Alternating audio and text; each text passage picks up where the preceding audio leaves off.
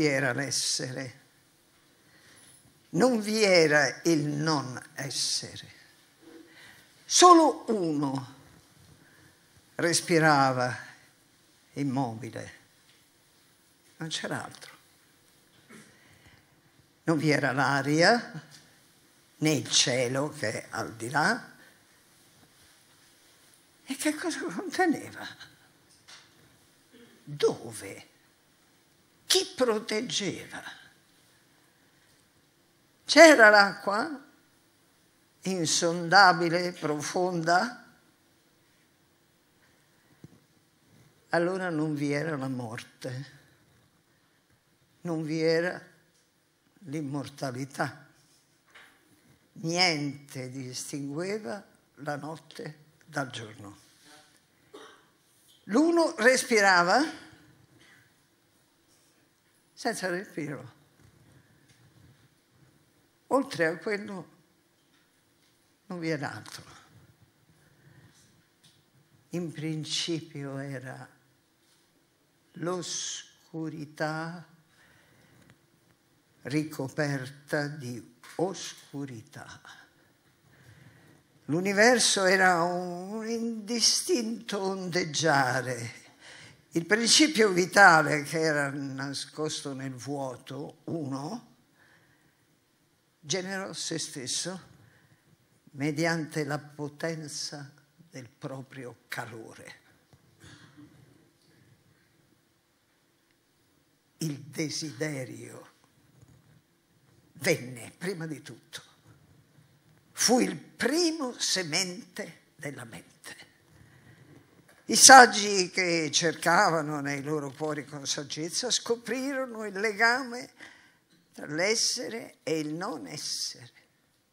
E che cosa c'era di sotto? Cosa c'era di sopra? Vi era energia di sotto e impulso di sopra. Chi lo sa veramente? Chi può qui dichiarare da dove è stata prodotta, da dove viene la creazione? I dei vennero successivamente. Chi allora sa da dove ciò è sorto, da dove questa creazione sia stata? Se lui l'ha creata oppure no, lui che la sorveglia nel più alto dei cieli, lui solo lo sa. O forse non lo sa. Sul frontone del tempio di Delfi, tempio dedicato al dio Apollo, si legge la massima conosci te stesso. Poi, di fianco, e nulla di più.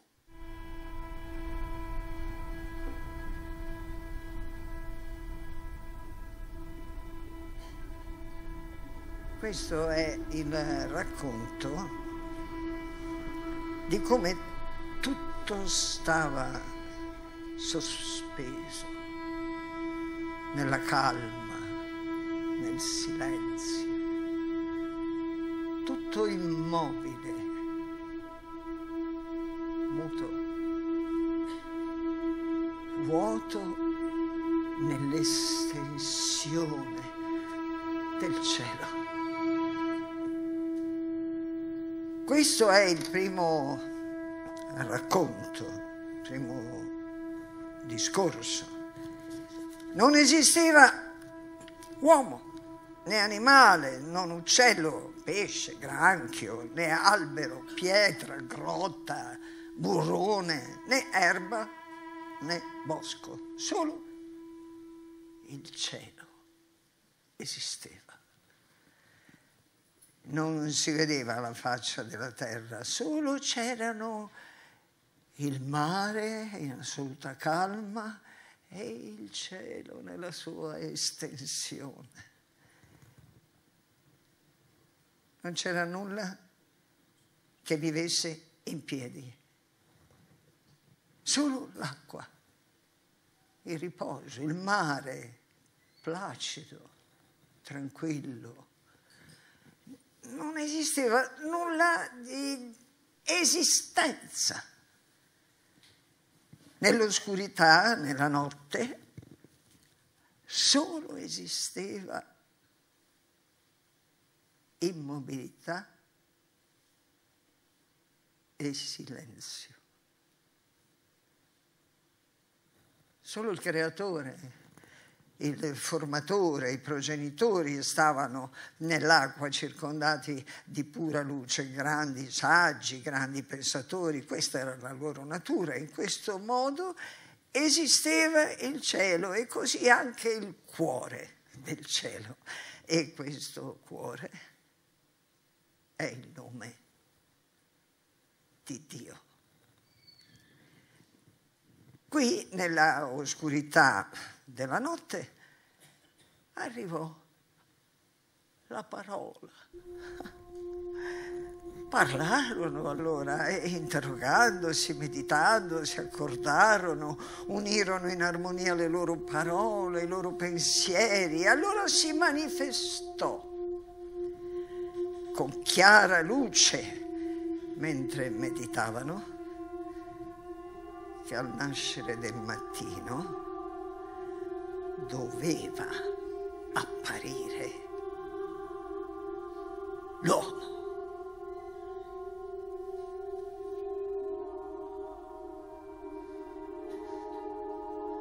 Questo ti chiedo. E rispondimi il vero. Chi è il creatore? Il padre del regno divino. Chi ha deciso il cammino del sole e delle stelle? Chi è colui che fa crescere e calare la luna? Chi tiene la terra in basso e sostiene la volta celeste?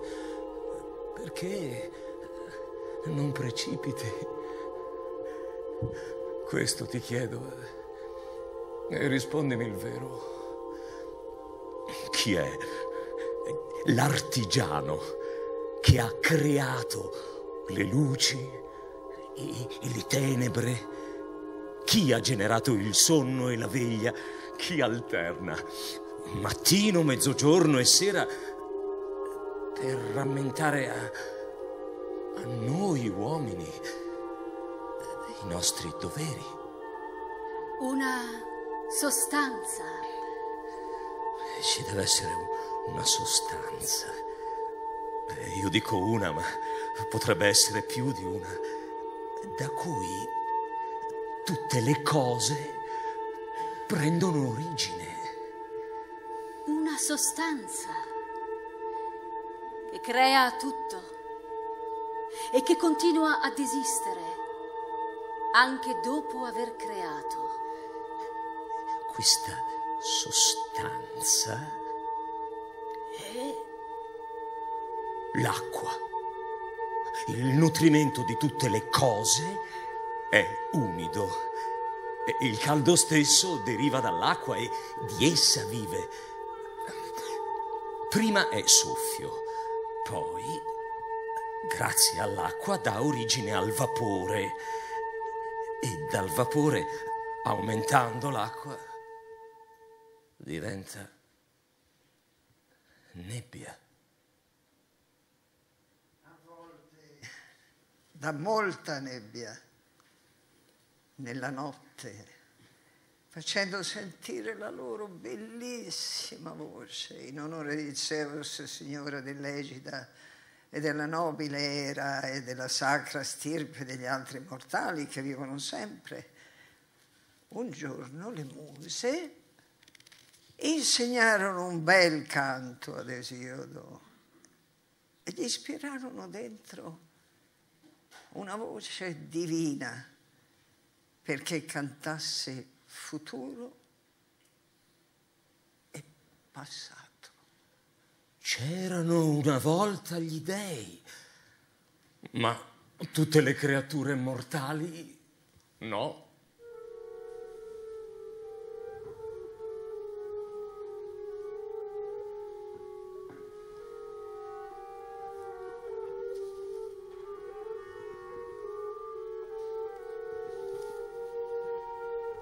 All'inizio fu il caos e subito dopo la terra, dall'ampio seno, sede perenne, sicura di tutti gli dei che hanno in possesso le cime nevose d'Olimpo. E dalla terra, dall'ampie contrade dei baratri, il buio tartaro. Dal caos ebbero vita quindi Erebo e la notte nera. Nacquero Etere e il Dì dalla notte, che ad Erebo mista Giacque in amore ed incinse, lì die l'uno l'altro alla luce. La terra generò primamente a sé simile Urano, tutto cosperso di stelle che tutta potesse coprirla, e insieme fosse dei numi e del cielo sicura. Poi con Urano giaciuta generò oceano profondo. L'acqua, l'oceano. L'oceano è un residuo di un'umidità originaria, perché tutto intorno alla Terra c'è acqua. Al principio non era il caos. La Terra era al centro dell'universo. La terra era tutta circondata dall'acqua. Ad abbracciare l'acqua e ogni altra cosa era il fuoco. Il fuoco, abbracciando l'acqua, mise in moto l'evaporazione. L'evaporazione aumentò il volume del vapore d'acqua fino a far esplodere l'involucro di fuoco, producendo le stelle il sole e la luna. Dall'evaporazione dell'acqua originaria sotto l'azione del sole, sulla Terra hanno avuto origine i venti. Nel cielo, dove la quantità d'acqua è maggiore, dai vapori e dalle esalazioni che hanno quindi energia maggiore, hanno avuto origine le rotazioni del Sole e della Luna. Ma L'effetto del sole sulla terra porterà l'acqua a ritirarsi sempre più in cavità oscure e ad asciugarsi. L'effetto del sole nell'universo porterà le rivoluzioni celesti a fermarsi. La sostanza che crea tutto e che continua ad esistere anche dopo aver creato non può essere l'acqua Deve essere un'altra. L'infinito. Dopo Urano e Oceano, il fortissimo Crono venne alla luce, di scaltro consiglio tra tutti i figliuoli il più tremendo. E Rea, congiunta a Crono, die a luce bellissimi figli, Istia, Demetra ed Era, la diva dall'aureo calzare, Ade che è sotto la terra, la casa, dall'animo forte, cuore spietato, e Zeus, saggiamente degli uomini, padre e dei numi, sotto il cui tuono tutta si scuote l'amplissima terra. Ma l'inghiottiva come ciascuno dall'utero sacro sulle ginocchia della sua madre cadesse il gran crono, che questo in mente aveva, che niun dei mirabili urani tra gli immortali avesse l'onore del regno, che aveva saputo dalla terra, da Urano fulgente di stelle, che era per lui destino soccombere al proprio figliuolo. Per questo ad occhi chiusi non stava, vegliava ed i figli suoi divorava il gran crono. Tutto inghiotte il tempo. L'infinito è il principio comune di tutte le cose. Tutti gli esseri viventi e tutte le cose hanno origine dall'infinito e all'infinito ritornano dissolvendosi. Tutti gli esseri viventi e tutte le cose, provenendo dall'infinito, nascono sulla terra. Sulla terra vivono e dalla terra imperfetta, perché come ogni cosa creata dall'infinito avrà una fine, si dissolvono. Tutti gli esseri viventi e tutte le cose si dissolvono nell'infinito, inghiottiti dal tempo. Ma quando Rea alla luce già stava per dar Zeus, padre degli uomini e dei numi, rivolse la prece ai diletti suoi genitori, a Urano coperto di stelle e a terra, perché d'accordo in modo trovassero che il suo parto nascondere potesse, far paghe le rinne del padre e dei suoi figli inghiottiti da Crono possente, l'astuto. E la mandarono tra il popolo ricco di Creta, quando un fortissimo figlio già stava per dare alla luce Zeus possente. E lui raccolse la terra gigante e lo ascose in un antro in accesso, con le sue mani sotto santissimi anfratti terrestri sul monte Egeo, tutto irto di picchi, coperto di selve. E poi una gran pietra ravvolta in fasce porse a Crono. Con le sue mani quello la prese, la cacciò nel ventre, né gli passò per la mente che era rimasto immune dal danno lievito il suo figlio che con le forti sue mani doveva ben presto domarlo dell'amor suo, privarlo, regnare tra i numi immortali.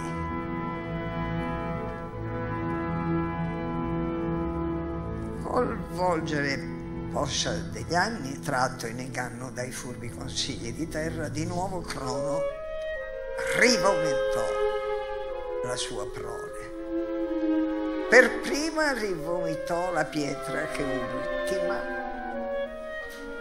aveva inghiottita.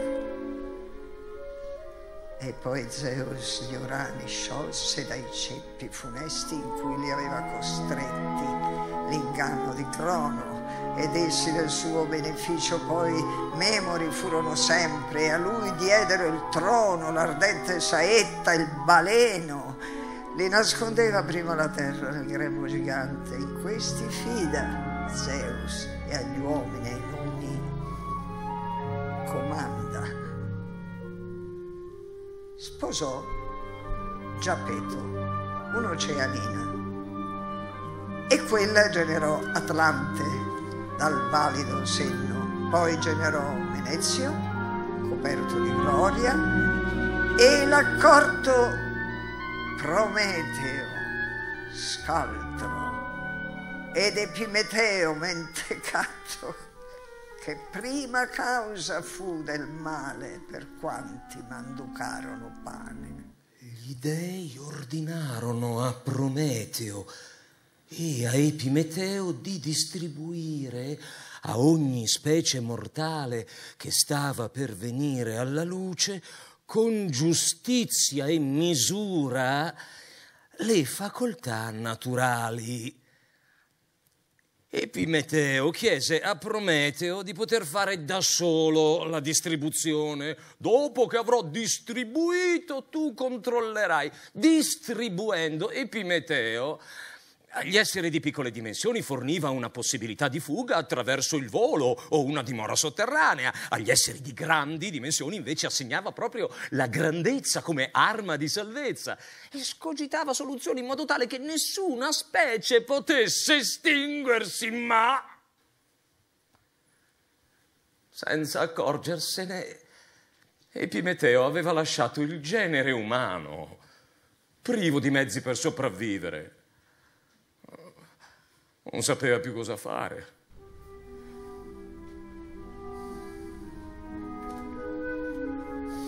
I mortali, pur vedendo, non vedevano. Pur udendo, non udivano.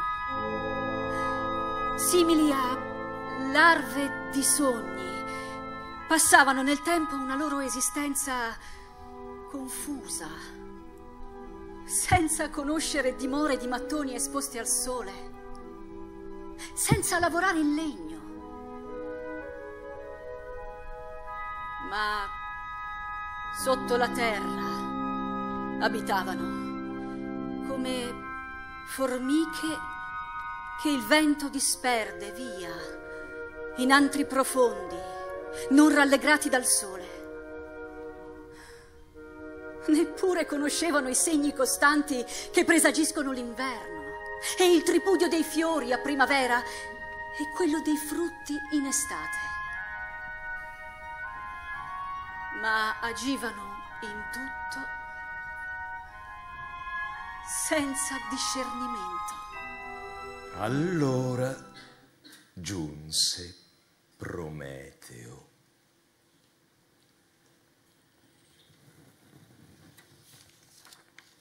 Prometeo con Zeus aveva gareggiato in astuzia, perché quando gli uomini e i numi vennero a contesa, un gran bove offerì Prometeo con subdola mente e lo spartì traendo la mente di Zeus in inganno. Perché le carni tutte, le trippe, ruppe con l'adipe grasso, depose sotto la pelle coperte col ventre del bove. E a lui le candide ossa spolpate con arte di frode offrì, disposte a modo, nascoste nel lucido mento. O di Giapeto, figlio, famoso tra tutti gli uomini, quanto di vario c'è tra le parti che hai fatte, mio caro. Così Zeus, l'eterno consiglio, crucciato, gli disse. E gli rispose così Prometeo, lo scaltro pensiero, dolce, ridendo, ne fu dell'arti di frode oblioso. Illustre Zeus, sommo fra i numi che vivono eterni. Scegli quello che più ti dice di scegliere il cuore. Disse, tramando l'inganno.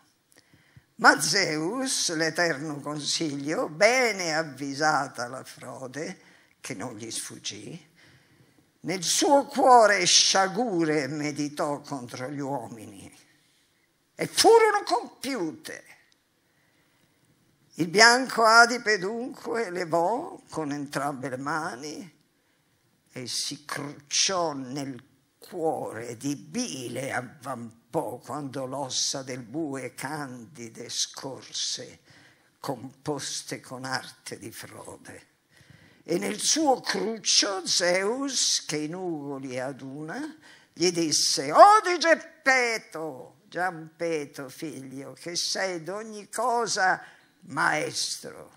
Dunque obliata non hai, caro amico, la tua frodolenza. Così cruciato il Dio dagli eterni consigli diceva.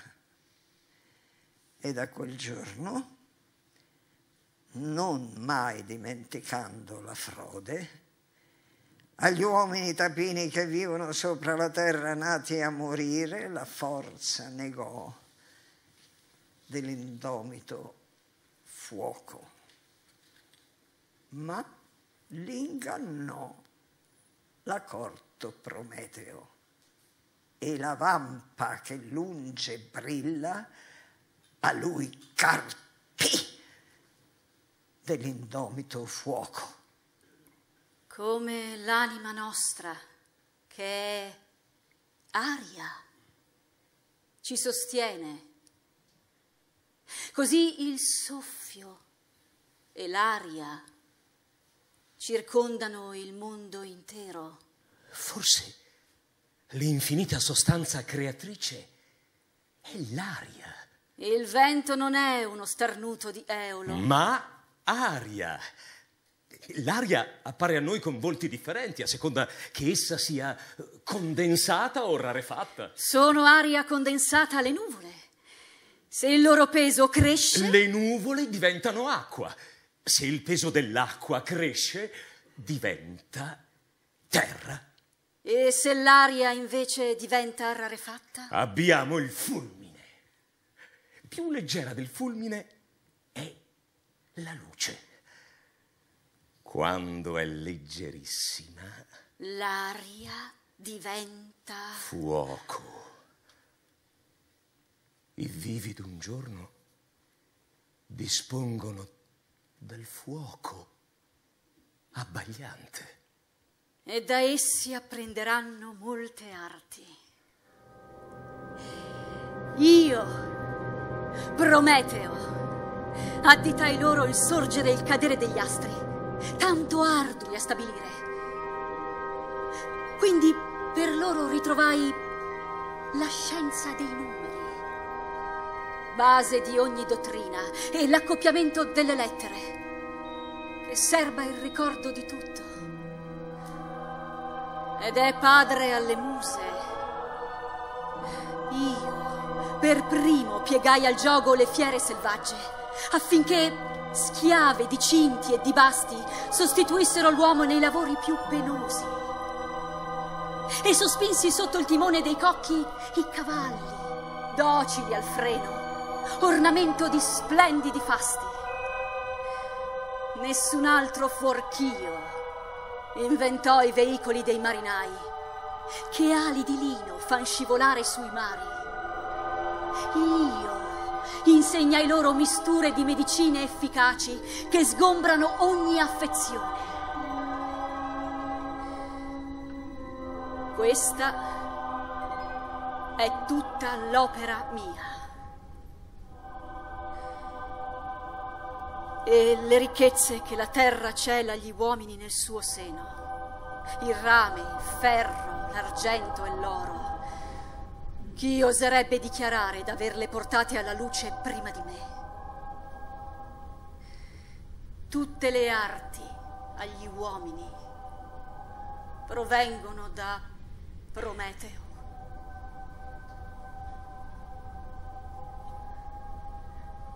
nel mezzo del cuore fu morso Zeus, che freme dall'alto, di bile fu pieno il suo cuore, come fra gli uomini vide la vampa che fulge lontano. Né trasgredire si può, né frustrare il volere di Zeus, neanche Prometeo di Giapeto il benefico figlio all'implacato suo sdegno sfuggì.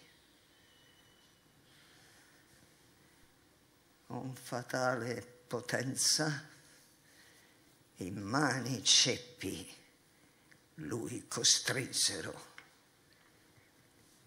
e tanto era scaltro.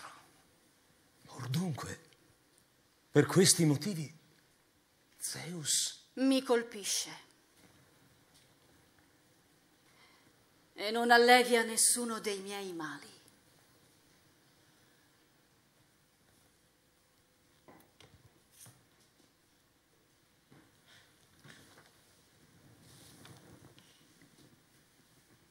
Legare a forza su questo abisso procelloso un nome latte del mio sangue, non mi regge il cuore. E forza è pure che mi regga.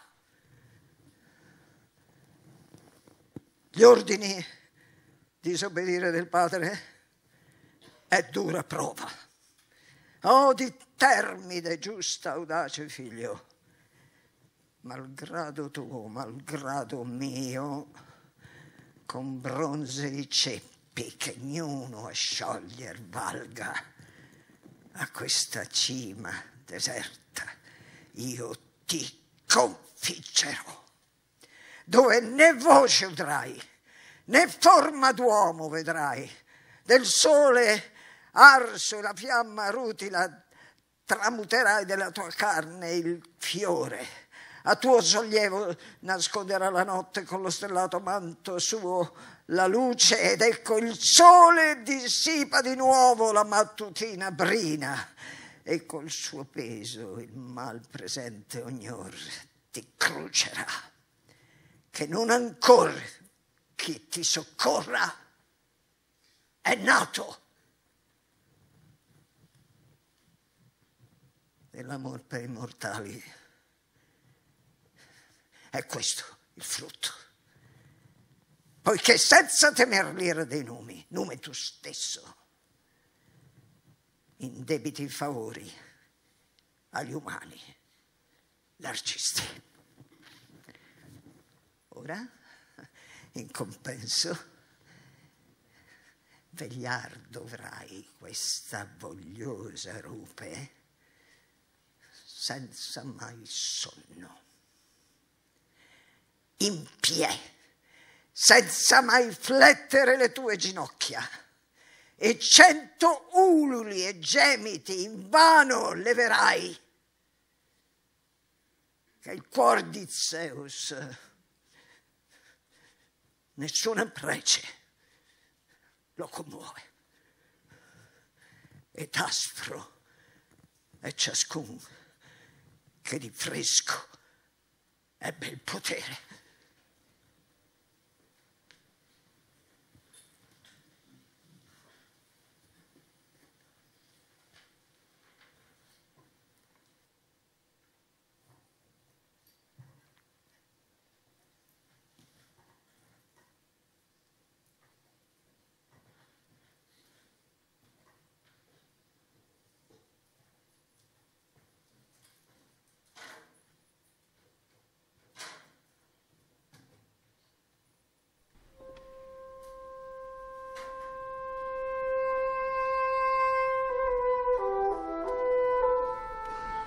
Al principio c'era il caos.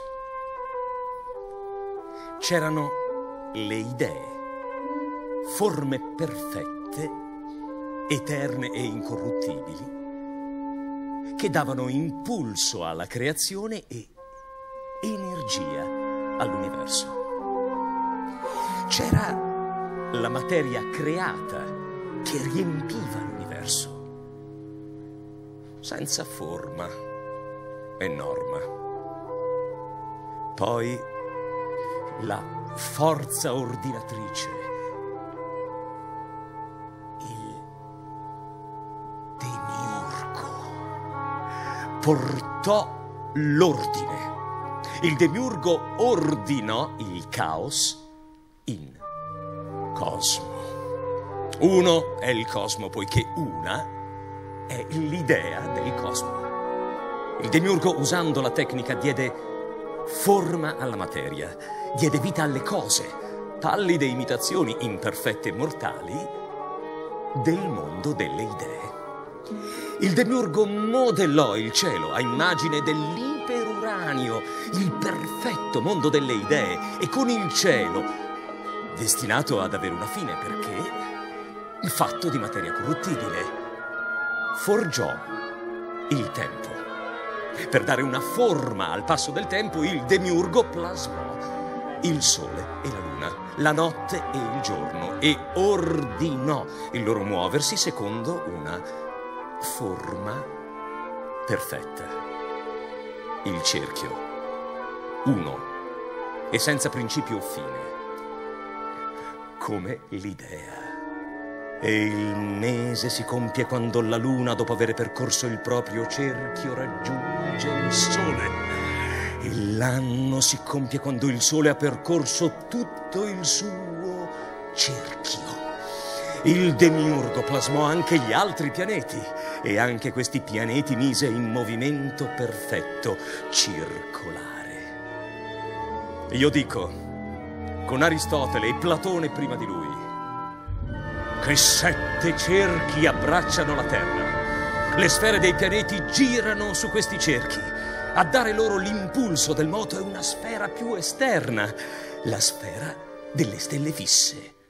Essa è perfetta. Il movimento le è dato da un motore immobile, puro atto. Ma il motore è pura energia che si disinteressa del mondo, sebbene sia la causa dei cieli. Tommaso d'Aquino, patrono di teologi accademici, librai e studenti, scrive che la natura è il piano di un artista divino, grazie al quale le cose si muovono verso un fine determinato. Il fine del moto celeste potrebbe essere la somiglianza del creato a Dio. Nessuno ne ha mai avuta sensata esperienza, nessuno ne ha mai dato dimostrazione, perché non è lecito. Chi potrebbe dire, se non Dio stesso, di conoscere il fine ultimo di Dio?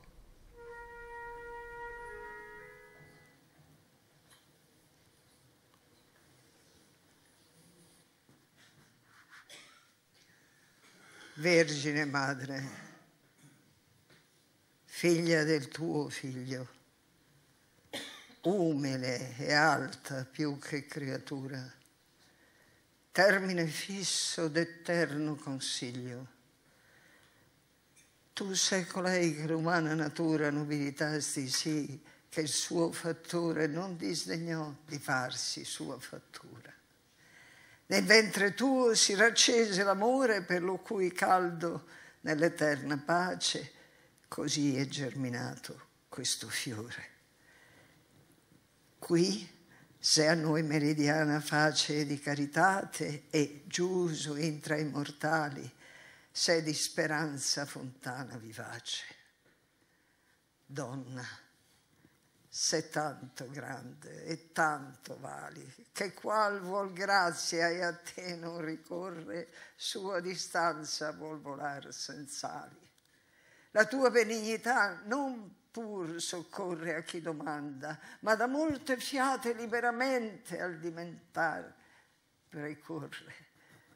In te misericordia, in te pietade, in te magnificenza, in te saduna quantunque in creatura è di bontate.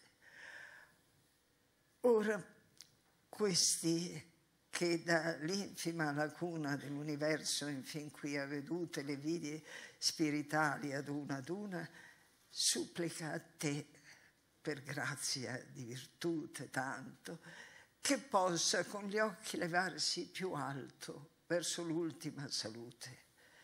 E io che mai per mio veder non arsi più ch'io fo per lo suo, tutti i miei prieghi ti porgo e priego che non siano scarsi, perché tu ogni nove li disleghi di tua mortalità col, coi preghi tuoi, sì che il sommo piacere li si dispieghi. Ancora ti prego, Regina, che poi ciò che tu vuoi, che conservi sani dopo tanto vedere gli affetti suoi. Vinca tua guardia i movimenti umani. Vedi Beatrice con quanti beati per i miei prieghi ti chiudono le mani. Gli occhi da Dio diletti e venerati, fissi nell'oratore, ne dimostraro quanto i devoti prieghi le son grati. Indi all'eterno lume s'addrizzaro, nel qual non si dee credere che si invii per creatura l'occhio tanto chiaro. Io, che al fin di tutti i desi appropinquava, sì come io dovea, l'ardor del desiderio in me finì.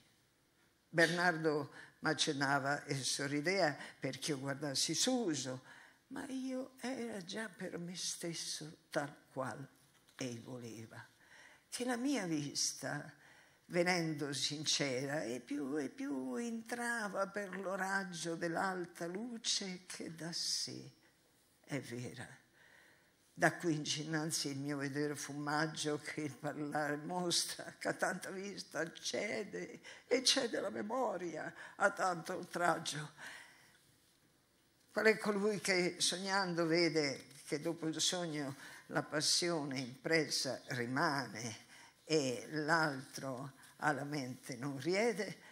Cotel, cotal son io che quasi tutta cessa mia visione e ancora mi distilla nel cuore il dolce che nacque da essa. Così la neve al sol si disigilla, così al vento nelle foglie lievi si perdea la sentenza di Sibilla.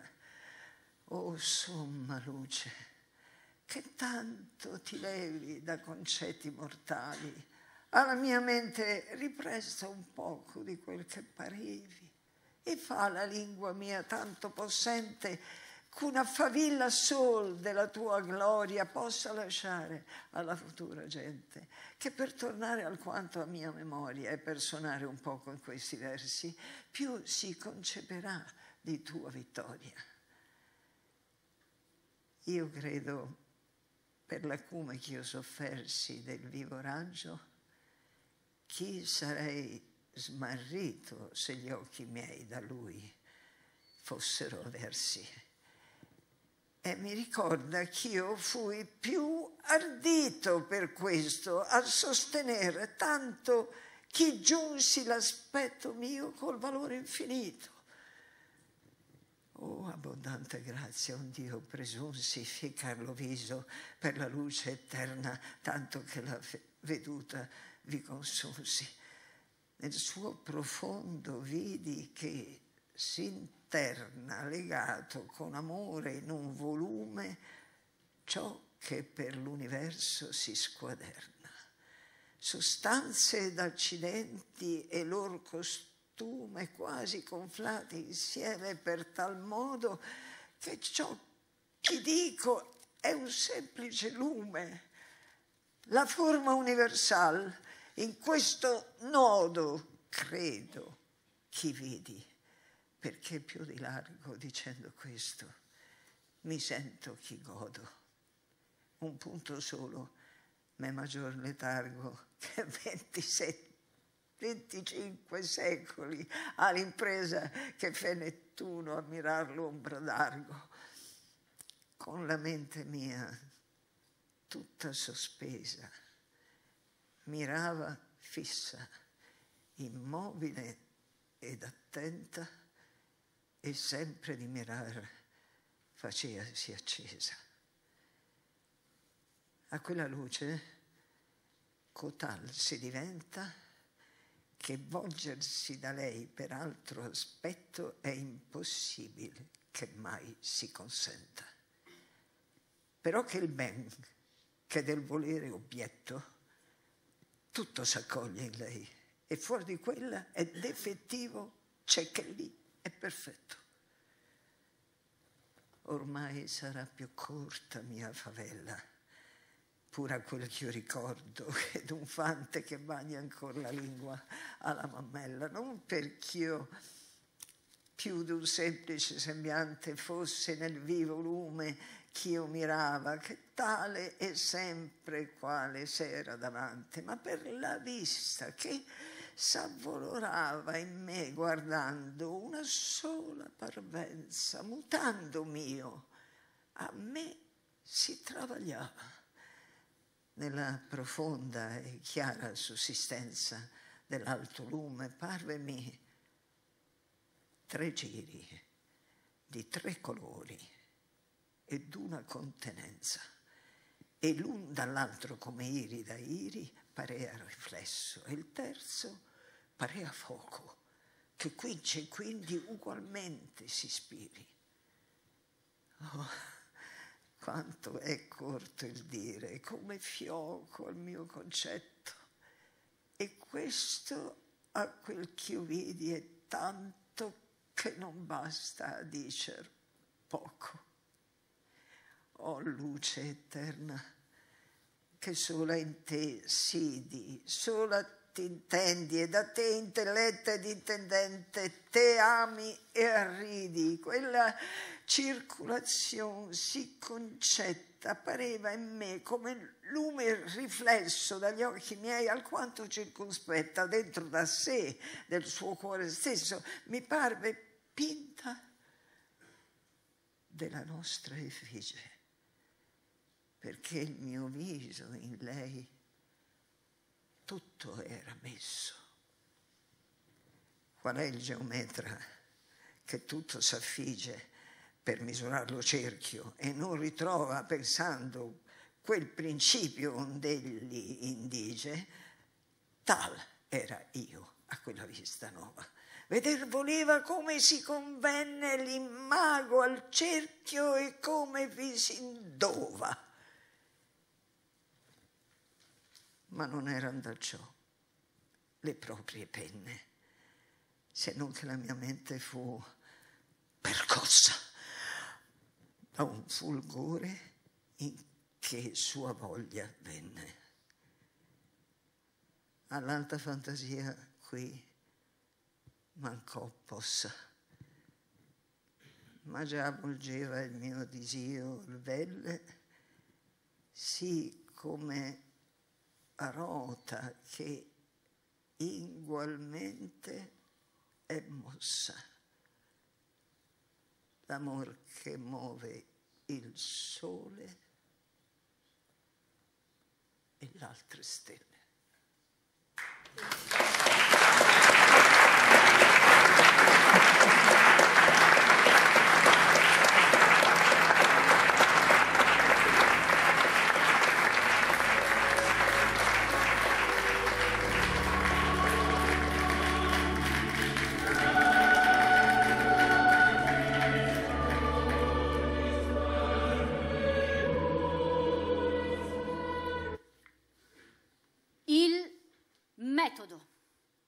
Che seguirò sarà quello di far dipendere quel che si dice da quel che si è detto, senza mai supporre come vero quello che si deve spiegare. Questo metodo me lo hanno insegnato i miei matematici, mentre non è abbastanza osservato da certi filosofi quando insegnano elementi fisici. Per conseguenza, quelli che imparano non sanno mai le cose dalle loro cause, ma le credono solamente per fede, cioè perché le ha dette Aristotele. Se poi sarà vero quello che ha detto Aristotele, sono pochi quelli che indagano. Basta loro essere ritenuti più dotti perché hanno per le mani il maggior numero di testi aristotelici. Che una tesi sia contraria all'opinione di molti non mi importa affatto, purché corrisponda all'esperienza e alla ragione. Questo modo di filosofare tende alla sovversione di tutta la filosofia naturale e al disordinare e mettere in conquasso il cielo e la terra e tutto l'universo. Non vi pigliate pensiero né del cielo né della terra, non temete la loro sovversione.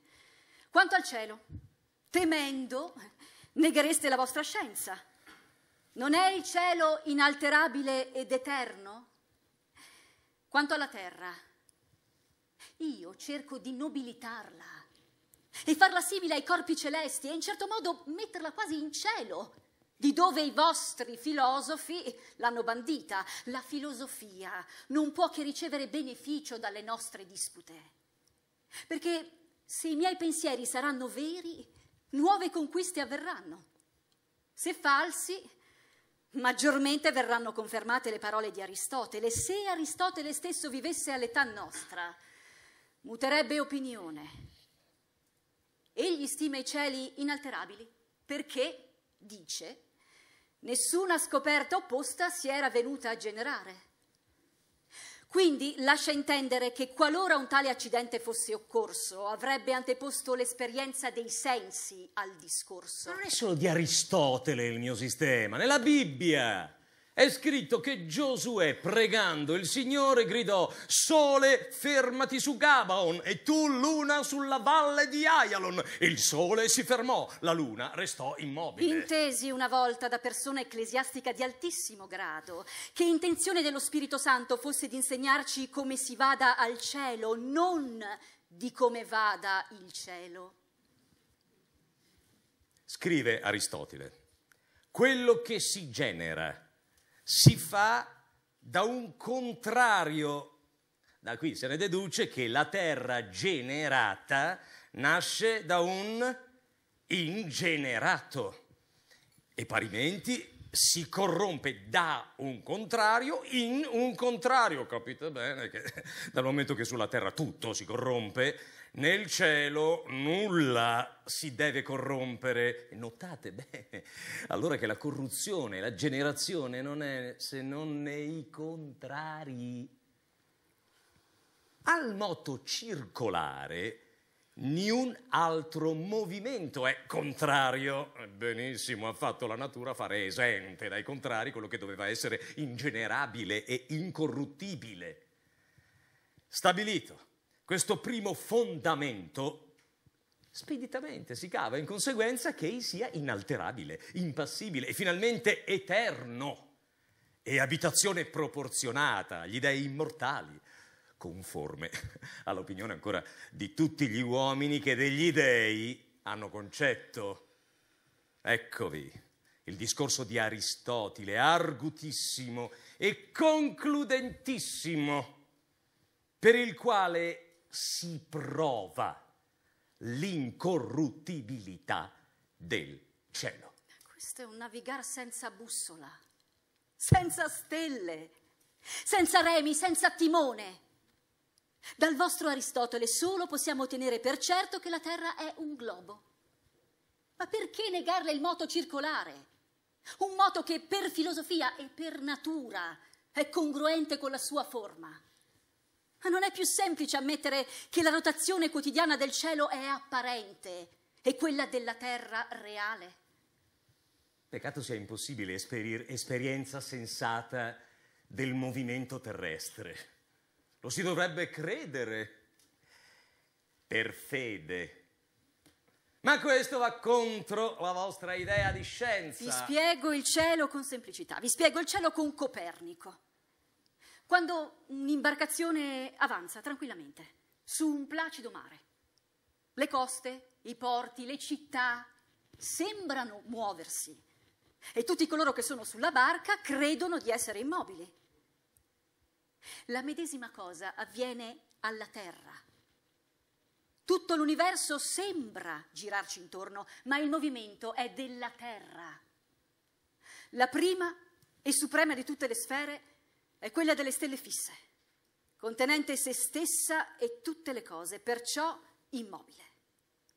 Prima fra le stelle mobili viene Saturno, che compie la propria orbita in 30 anni. Dopo questo Giove, che si muove con un periodo di 12 anni, di Marte, che gira in un biennio. Il quarto posto tiene la Terra. Nel quinto posto Venere, Mercurio infine occupa il sesto, in mezzo a tutti sta il sole. A chi infatti in tale bellissimo tempio metterebbe codesta lampada in un luogo diverso o migliore di quello da cui possa tutto insieme illuminare? Come assiso su un trono regale, il sole governa la famiglia degli astri che gli ruotano intorno. Noi per la misericordia di Dio della Santa Romana Chiesa Cardinali, in tutta la Repubblica Cristiana contro l'eretica pravità inquisitori generali dalla Santa Sede Apostolica specialmente deputati, essendo che tu, Galileo, fosti denunziato che tenevi come vera la falsa dottrina che il Sole sia centro del mondo e immobile, e che la Terra si muova anche di moto diurno, seguendo la posizione del Copernico, affermando varie proposizioni contro il vero senso e autorità della Sacra Scrittura.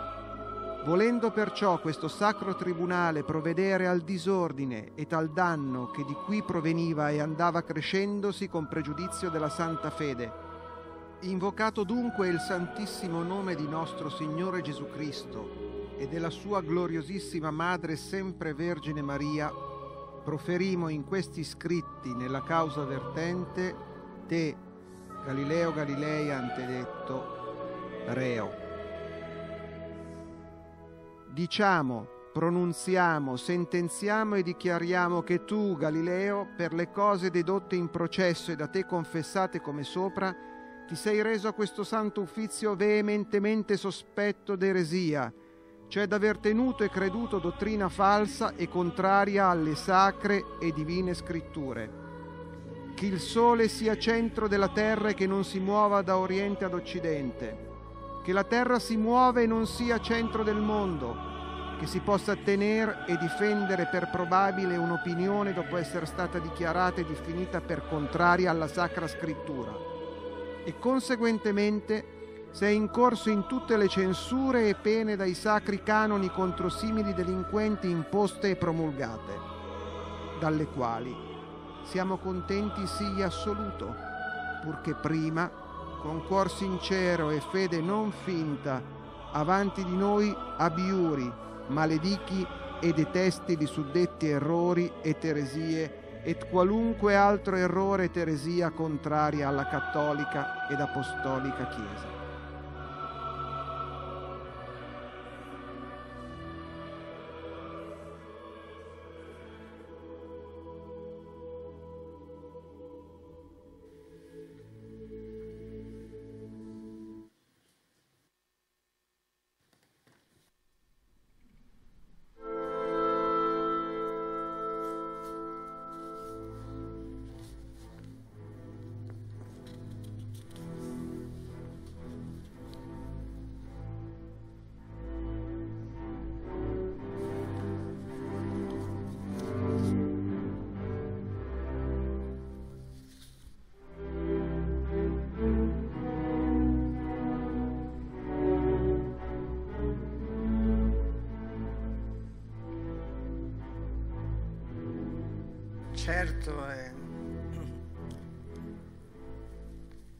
Cosa conveniente quando uno cerca di fare storia ed ornare leggi.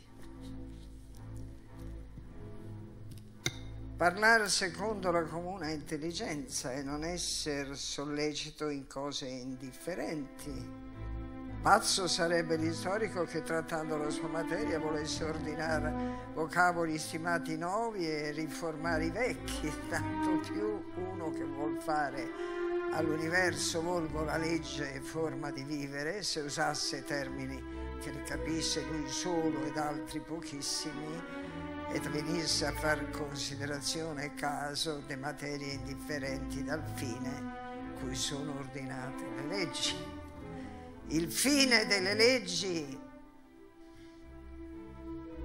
non è tanto cercare la verità delle cose, le speculazioni. Quando la bontà dei costumi, profitto della civiltà, convitto di popoli e pratica per la comodità della umana conversazione, mantenimento della pace ed aumento di repubblica.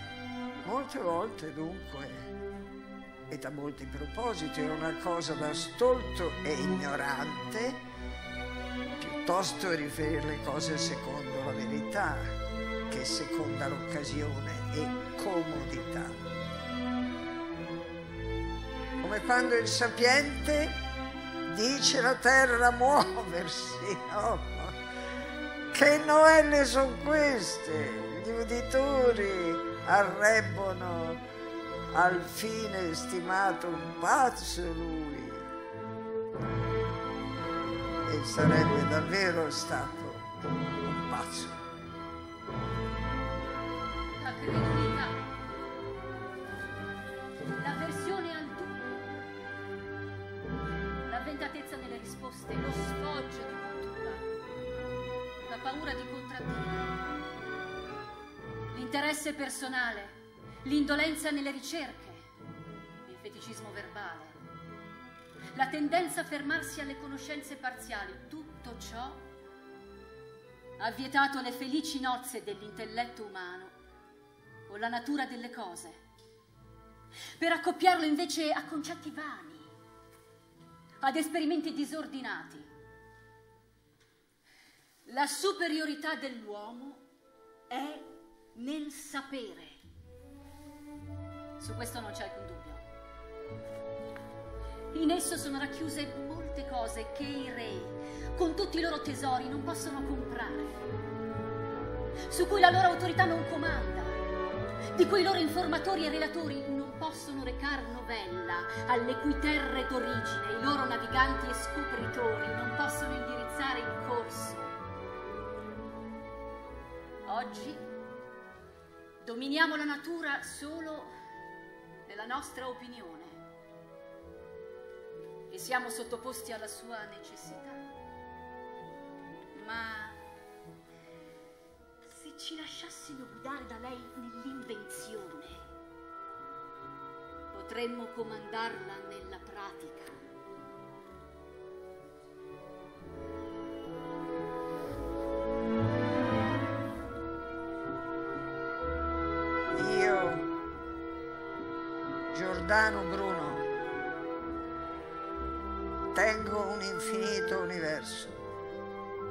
Effetto della infinita divina potenza, perché io stimo cosa indegna della divina bontà e potenza che possendo produrre oltre questo mondo un altro ed altri infiniti, producendo un mondo finito.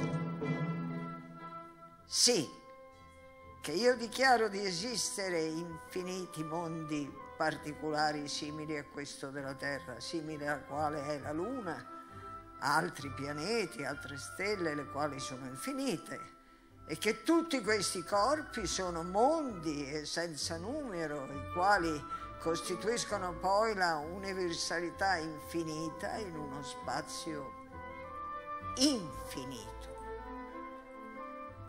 E questo si chiama universo infinito, nel quale sono mondi innumerevoli.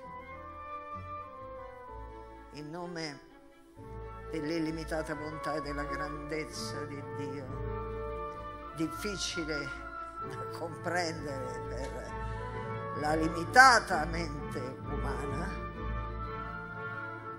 postumo l'universo come infinito. Il 17 febbraio del 1600, nel nome di Dio, la Santa Inquisizione brucia Bruno in campo dei fiori. Vada ad annunciare ora a quegli altri mondi da lui immaginati in che modo gli uomini blasfemi ed empi sogliono essere trattati dai romani.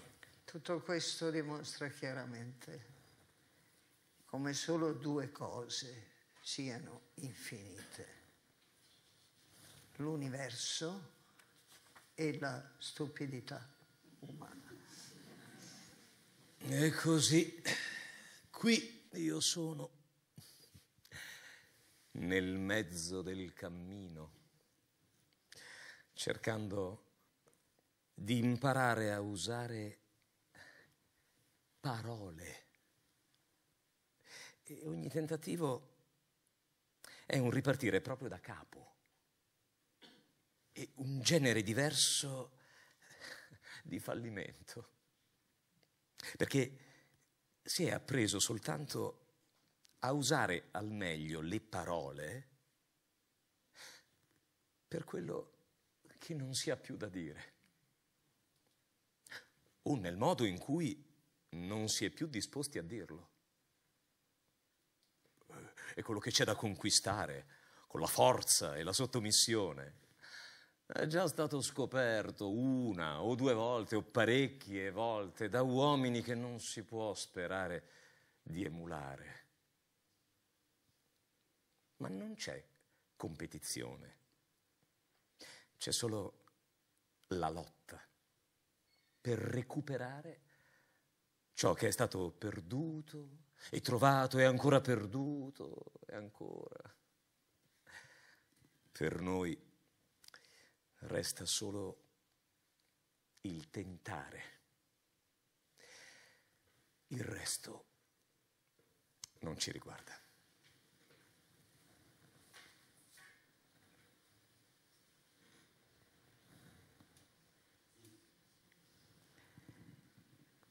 Einstein. Tutto quello che l'uomo ha pensato compiuto durante la sua esistenza è stato volto a soddisfare i bisogni e a placare il dolore, a dare immagine al mistero e nome all'ignoto. Sentimento e desiderio sono le forze all'origine di ogni sforzo e di ogni creazione dell'uomo. Ci sono però degli individui che percepiscono l'inutilità dei desideri e degli sforzi e non ammirano altro se non la sublimità e l'ordine meraviglioso che si manifestano in natura e nel pensiero e vogliono indagare l'universo come tutto unico, pieno di significato. Grandi spiriti, eh? religiosi, filosofi, uomini di scienza si sono distinti per questo tipo di sentimento, che non conosce dogmi, a cui non basta un Dio concepito a immagine dell'uomo, con i suoi limiti e le sue paure. La scienza può essere creata soltanto da chi sia totalmente vocato alla verità e alla comprensione. Questa vocazione tuttavia scaturisce dalla sfera e della religione a essa appartiene anche la fede nelle possibilità che le regole valide per il mondo esterno sono razionali, cioè comprensibili per la ragione. Io non, non riesco a concepire un vero scienziato che difetti di tale fede profonda Beh, possiamo esprimere situazioni, la situazione, con un'immagine. La scienza senza la religione è zoppa. La religione senza la scienza è cieca la funzione più importante dell'arte e della scienza è proprio quella di risvegliare questo sentimento di religione cosmica.